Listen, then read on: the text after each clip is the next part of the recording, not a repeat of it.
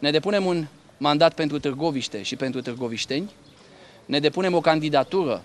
pentru a continua proiectele începute în ultimii patru ani de zile, proiecte care au crescut Târgoviștea cât în ultimii 20 de ani.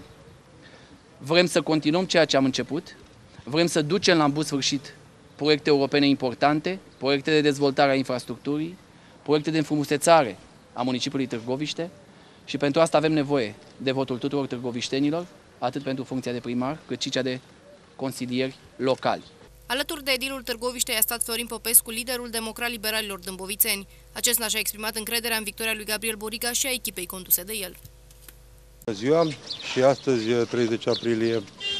am venit alături de primarul Gabriel Boriga, primarul municipiului Târgoviște și echipa sa de consilieri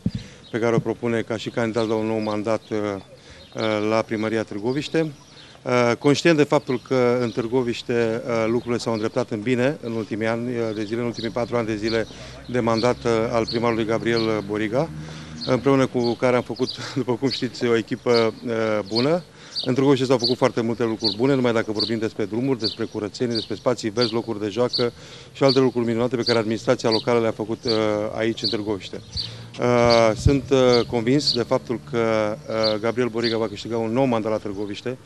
pentru următorii patru ani de zile, pentru a-și continua proiectele și pentru a veni cu altele noi. Pentru că Târgoviștea, așa cum spunea Gabriel Boriga în anul 2008, poate mai mult. Vreau să vă spun că sunt mândru